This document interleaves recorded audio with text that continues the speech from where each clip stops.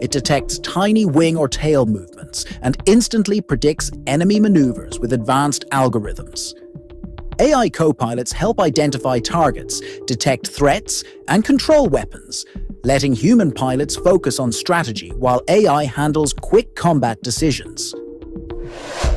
Stealth isn't just about dodging radar anymore. The F-47 will have multispectral stealth, meaning it can hide from infrared sensors, sound detectors, and even electronic surveillance. Some reports even suggest it might have active camouflage technology, allowing it to blend into the sky like a chameleon. The F-47 will be equipped with extremely fast weapons capable of striking enemies before they even realize they are under attack. To achieve this capability, the F-47 is expected to carry hypersonic missiles that travel at speeds exceeding Mach 5.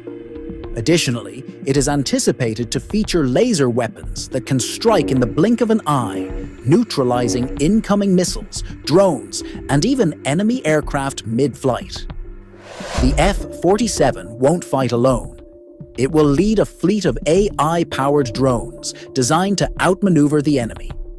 These drones will act as decoys to confuse radars, conduct surveillance without risking manned jets, execute precision kamikaze strikes on high-value targets, and jam enemy communications to cripple their defenses. This completely changes air combat. Instead of sending one fighter into battle, the F-47 will act as a commander for an entire AI-driven air force.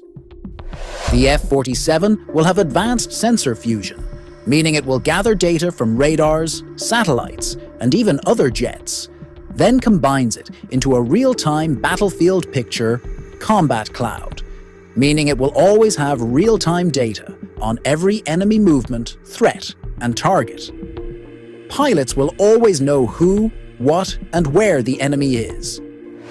You might be wondering, why is Boeing leading the F-47 project instead of Lockheed Martin? The company behind the F-22 and F-35. Boeing has been working on AI-powered drones, autonomous combat systems, and next-generation stealth long before NGAD began. While Lockheed made two incredible jets, the F-35 program faced cost overruns and delays.